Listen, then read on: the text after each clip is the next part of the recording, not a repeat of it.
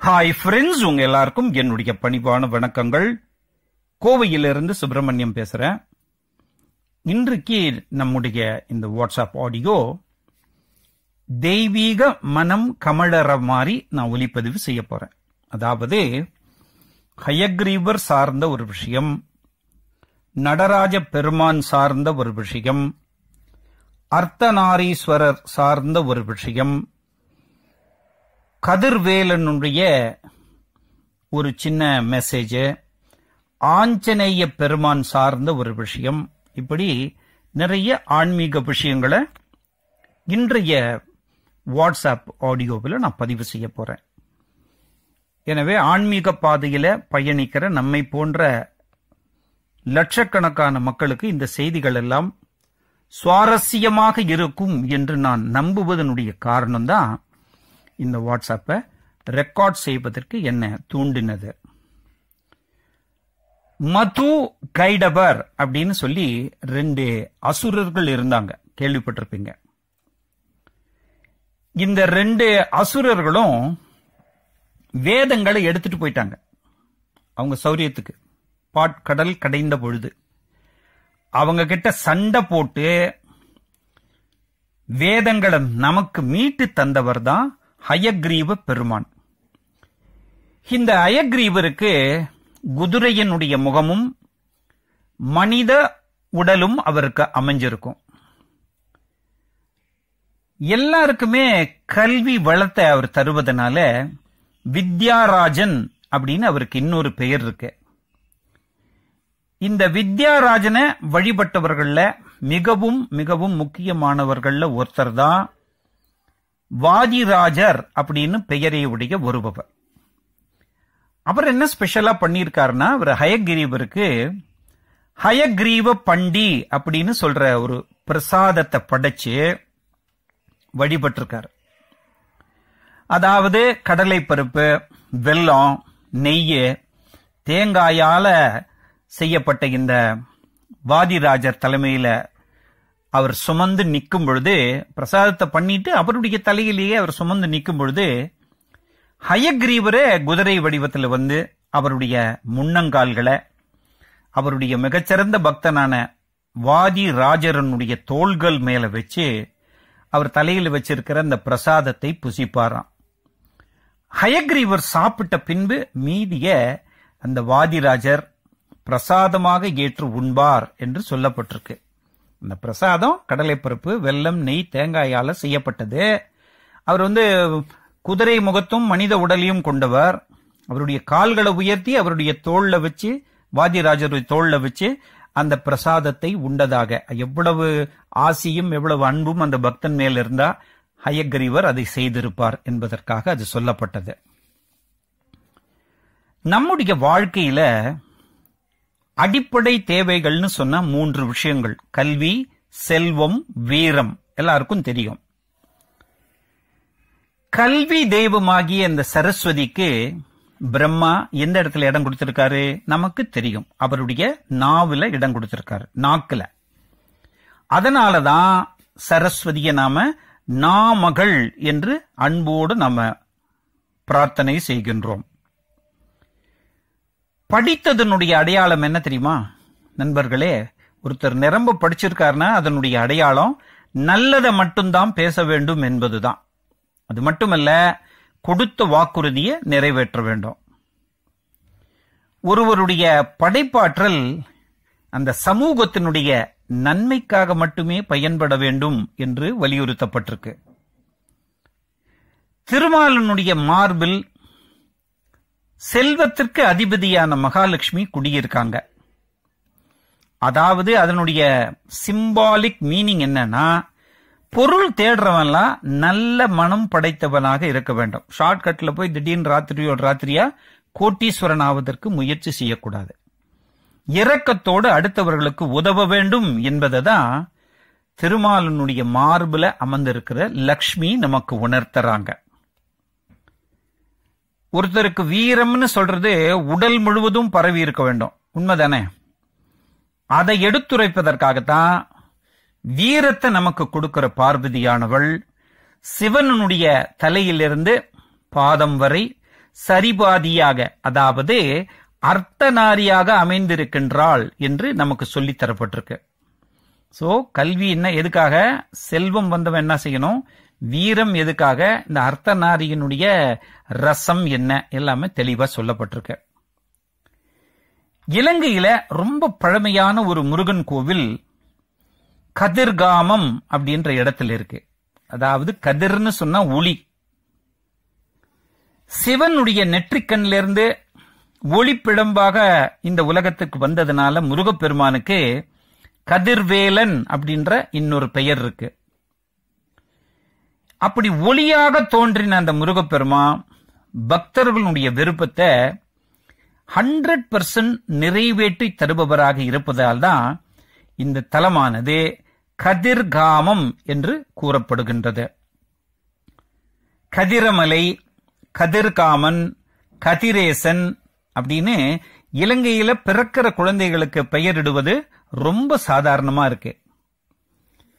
ஒரு சுவாரஸ்யமான விஷயத்தையும் பதிவு பண்ண ஆசைப்படுறேன். பதினேழாம் நூற்றாண்டுல போர்ச்சுகீசிய கொள்ளை கும்பல் ஒண்ணு சிலோனுக்கு இலங்கைக்கு வந்தது. அது வந்ததுக்கு அப்புறம் கொள்ளை அடிச்சாங்க மாட்டினாங்க அது சாதாரண விஷயம் அது. ஆனா ரீபைரோ அப்படின்னு சொல்ற ஒரு கொள்ளைக்காரன் அவனுடைய டைரி குறிப்புல என்ன எழுதியிருக்கா நாங்க மொத்தம் அஞ்சு பேரு கொள்ள கும்பல். நாங்க ஒவ்வொருத்தராக கதிர் கிராமம் கோயிலுக்கு போய் கொள்ளையடிக்க வேண்டும். இதுதான் எங்களுடைய திட்டம். அதுக்கேத்த மாதிரி இந்த கதிர் காமத்துக்கு நாங்க ஒவ்வொருத்தரா அனுப்பப்பட்டோம். ஆனா போற வழியிலேயே எங்க புத்தி சுவாதீனம் மாறி போய் பைத்தியம் பிடிச்சு தடுமாற்றம் அடைஞ்சு நாங்க ஒவ்வொருத்தரும் சம்பந்தம் இல்லாம பேசத் தொடங்கினோம் உளரத் தொடங்கினோம். திருடும் நோக்கத்துல கடைசி வரைக்கும் எங்களுடைய திட்டம் எங்களால செயல்படுத்த முடியவில்லை எங்களால அதை செயல்படுத்தி காட்ட முடியவில்லை கொள்ளையடிக்க முடியவில்லை அப்படின்னு அவனுடைய டைரியில குறிச்சிருக்கான். இதுதான் கதிர்வேலனுடைய விளையாட்டு என்ற தலைப்புல நமக்கு சொல்லித் தரப்பட்டிருக்கு. சிவன் கோவில்ல மூலவர வழிபட்ட பின்புதான் நாம பிரகாரத்தில் இருக்கிற சண்டிகேஸ்வரரை வழிபட வேண்டும். சண்டிகேஸ்வரர் எப்பொழுதுமே தியான நிலையில தான் இருப்பார். எனவே- எனவே அவருக்கு காவல் தெய்வம் என்று இன்னொரு பெயரும் இருக்கு. எந்த கோவில் அவர் இருக்காரோ அந்த கோவிலுடைய கணக்கு வழக்குகளை சரி பார்க்கறதும் சிவ வழிபாட்டுக்கு இடையூறு வராமல் தடுப்பதும் தான் அவருக்கு கொடுக்கப்பட்டிருக்கிற முக்கியமான வேலை. கோவிலினுடைய காவல்காரராக இருப்பவர் பைரவர். அவருக்கு க்ஷேத்திர பாலகன் அப்படின்னு இன்னொரு பெயரும் உண்டு. அதாவது கோவிலை பாதுகாப்பவர் என்பது அதனுடைய அர்த்தம். சொல்லின் செல்வர் யார் தெரியுமா? ஆஞ்சநேய பெருமான். அப்பேற்பட்ட ஆஞ்சநேய பெருமானும் ஒரு இடத்துல பொய் சொல்லியிருக்கார். இலங்கையில ராமரனுடைய அறிவுரைப்படி ராமரனுடைய ஒரு வேண்டுகோளின்படி சீதைய தேடி அலைஞ்சவர் தான் ஆஞ்சநேய பெருமான் என்கிற ஹனுமன். அப்படி ஹனுமனை பார்த்த இலங்கை காவல் தெய்வமான லங்கினி அப்படின்னு சொல்ற ஒரு தெய்வம் காவல் தெய்வம் அவ இலங்கைக்கு. ஏ குரங்க இங்க புதுசா வந்திருக்கிற நீ யாரு? அப்படின்னு அதட்டி கேட்டது. அழகாக இருக்கிற இந்த வனப்பகுதியை நான் பார்க்க வந்தேன் அப்படின்னு ஹனுமன் அந்த லங்கினி என்ற காவல் தெய்வத்திட்ட ஒரு பொய்ய சொன்னார். ஆனா அவர் போயிருக்கிறது எதுக்காக? அப்புறம் என்ன செஞ்சாரு? எப்படி இந்த அசுர வம்சமே அழிஞ்சு போச்சு? அதெல்லாம் நமக்கு தெரியும். அதே மாதிரி அனுமனுக்காக சீதையும் ஒரு முறை பொய் சொல்லியிருக்காங்க. சீதா பிராட்டியும். ஹனுமன் வந்து அசோகவனத்தை துவம்சம் செய்த போது அங்க வாழ்ந்துட்டு இருக்கிற அரக்கிகள் எல்லாம் அலறி அடிச்சபடி நாலா பக்கமும் ஓடினாங்க. அதுல ஒருத்தி என்ன பண்ணா சீதை பிராட்டியார்ட்ட போய் இவன் யாரு? இவ்வளவு துவம்சம் பண்றான் இவ்வளவு சர்வநாசம் பண்றான்னு யாருன்னு கேட்டபோது என்னையும் கேக்குற? எனக்கு எப்படி தெரியும்? அப்படின்னு உண்மைய மறைச்சிட்டாங்க. அதாவது ஆபத்து காலத்துல பொய் சொல்வது தர்மம் என்பதனால இது ஒரு குற்றமாக கன்சிடர் பண்ணவில்லை. ஒரு பசுமாடு ஒருத்தன் துரத்திட்டு வரான் ஒரு கசாப்பு கடைக்காரன். அந்த பசுமாடு ஒரு வீட்டுக்குள்ள புழுந்துருச்சு. அந்த வீட்டுக்காரர்ட்ட அவன் ஓடி வந்து கேட்கறான் இங்க ஒரு வெள்ளை மாடு ஓடி வந்தது பசுமாடு இது எங்கன்னு? அவன் வந்து எதிர் திசையை காமிச்சு அந்த திசையில ஓடினதாக சொல்ல வேண்டும்னு எதிர்பார்க்கிறாங்க. வீட்டுக்குள்ளதான் வந்திருக்குன்னு சொன்னா அவன் அந்த மாடையும் அடைக்கலம் கொடுத்த நபரையும் கொன்று போடுறதுக்கு கூட வாய்ப்பு இருக்கு. எனவே அந்த பசுவை காப்பாற்றணும்னா பொய் சொல்லித்தான் ஆகணும். இப்படி சொல்லப்படுற பொய்கள் எல்லாம் தர்மமாக கன்சிடர் பண்ணப்படும் என்று நமக்கு விளக்கப்பட்டிருக்கு. சரி முடிவில் இந்த வாரத்தில் ஒரு சின்ன ஸ்லோகம் முருகப்பெருமானுக்குடைய ஸ்லோகம். அது போன வாரமே நம்ம பதிவு பண்ணிட்டதுனால இன்றைய பதிவில் நாம ராமச்சந்திர மூர்த்தியை துதிக்கும் ஒரு சின்ன ஸ்லோகத்தை நம்ம பார்க்கலாம். அதனுடைய அர்த்தத்தோட. ஆபதாமப ஹர்த்தாரம் தாத்தாரம் சர்வ சம்பத்தாம்.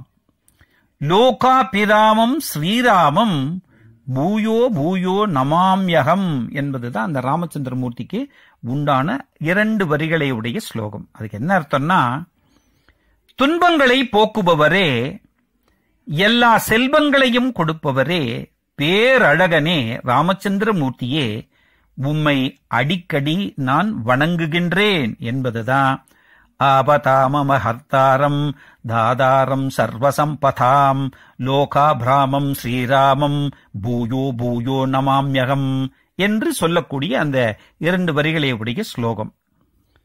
அடிக்கடி ஞாபகம் வச்சுக்கோங்க ராமபிரான பிரார்த்தனை பண்ணும்போது துன்பங்களை எல்லாம் போக்குபவரே எல்லா செல்வங்களையும் கொடுப்பவரே பேரழகரே ராமச்சந்திரமூர்த்தியே உன்னிடம் நாங்கள் சரணடைகிறோம். எங்களை காப்பாற்றுங்கள். உங்களை நான் அடிக்கடி வணங்குகிறேன். அப்படின்னு நாம சொல்ல பழகி கொள்ள வேண்டும். இப்ப பதினொன்னு இருபத்தேழு ஐம்பத்தி நாலு அல்லது நூத்தி எட்டு அப்படின்ற எண்ணிக்கையில வெற்றிலைகள் கோர்த்த மாலைய செவ்வாய்க்கிழமை செவ்வாய்க்கிழமை விநாயகருக்கு நம்ம சாத்தினோம்னா நம்முடைய அனைத்து விருப்பங்களும் நிறைவேறும். வெள்ளிக்கிழமை காலையில ராகு கால டைம்ல அதாவது பத்தரையிலேருந்து பன்னெண்டு மணிக்குள்ள சரபேஸ்வரரை வழிபட்டா திருமண தடை நீக்கும் குழந்தை பேரு கிடைக்கும். தனக்கு தெரிஞ்சத அடுத்தவங்களுக்கு சொல்லி கொடுக்க கூடாதுன்னு எவன் நினைக்கிறானோ வஞ்சக எண்ணம் வச்சிருக்கானோ அவனுக்கு ஞான வஞ்சகன் என்று பெயர். நெத்தியில நாம் இட்டுக்கிற விபூதி குங்குமம் சந்தனம் கோபி இவைகளெல்லாம் நம்முடைய உடல்ல நாடிகளினுடைய கெட்ட நீரை வத்த செய்யும். உடல் நலம் நமக்கு மேம்பட்டு நீண்ட ஆயுள் கிடைக்கும். நாம பல விசேஷ நாட்களுக்கு விரதம் இருக்கோம் இல்லையா நம்ம? வெள்ளிக்கிழமை விரதம் ஆரம்பிச்சு கந்த சஷ்டி விரதம் வரைக்கும் அப்படி விரதம் இருக்கிற நாள்ல மிக குளிர்ந்த நீரில் குளிக்கிறது நல்லது அப்படின்னு நமக்கு அறிவுறுத்தப்பட்டிருக்கு. சித்திரை வைகாசியில செம்பக பூவை முருகனுக்கு சாற்றினா உணவிற்கு இந்த ஜென்மத்துல குறைவு ஏற்படாது. வடக்கு முகமாக தீபமேற்றினால் கல்வி சுப விஷயத்தில் இருந்த தடைகள் இவைகளெல்லாம் நீங்கும் செல்வம் பெருகும். அதிக இடைவெளி விட்டு சிலவங்க பூ விற்கிறாங்க பூக்கடையில. அதை நம்ம வாங்குறத நம்முடைய மனைவி சகோதரிகள் தவிர்த்து விட வேண்டும். ஏன் தெரியுமா? அதிக இடைவெளி விட்டு தொடுத்த மலர்களை பெண்கள் சூடினால் கணவன் மனைவி இடையே உள்ள உள்ள நெருக்கம் சற்றே குறையும் அப்படின்னு சொல்லியிருக்காங்க. இதெல்லாம் நீங்க போய் டெஸ்ட் பண்ண வேண்டிய அவசியம் இல்லை. நீங்க வாங்கும் பொழுது நல்ல மாலையாக நல்ல தொடுத்த பூக்கள் ஒரு முழம் ரெண்டு முழம் மேக்சிமம் வாங்க போறோம். அது நெருக்கமாக கட்டின பூவாக பார்த்து வாங்கினால் போதுமானது. நிறைய விஷயங்கள் இந்த ஆடியோவில் பதிவு செய்து அமைச்சிருக்கேன் உங்கள் அனைவருக்கும் பிடிக்கும்னு நம்புறேன். இந்த ஆன்மீக பாதையில நம்மை போல பயணிப்பவர்களுக்கு இது நிச்சயமாக உதவும். ஆன்மீகத்தில் ஈடுபாடு இருக்கிற மற்ற குழுக்களுக்கும் இவற்றை அனுப்பி கொடுத்தால் நீங்களும் ஒரு புண்ணியம் செய்தவராக இறைவனுடைய கோர்ட்டில் பார்க்கப்படுவீர் என்ற உண்மையை தெரிந்துக்கோங்க.